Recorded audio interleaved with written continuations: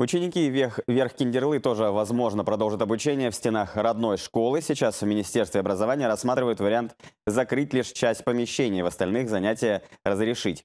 Напомню, в начале июня жителям Верх-Киндерлы Бийского района объявили, что учебное заведение 1 сентября не откроется. Здание признано аварийным, и прокуратура, выступив за безопасность детей, запретила в нем находиться. Хотя на деле основная часть помещений в нормальном состоянии, потолок обвалился лишь в одном из кабинетов, где занятия давно прекращены. Сейчас в Республиканском Минобразовании рассматривается несколько вариантов, как организовать учебный процесс, возить детей в соседние населенные пункты или все-таки оставить их в родной школе, в неаварийных классах и параллельно изыскивать средства на ремонт. Кстати, в следующем году в Хакасии будет отремонтировано школ больше, чем планировалось – 7 вместо 5. В список добавлены образовательные учреждения в Усть-Киндерле и школа номер 2 в Таштыпе.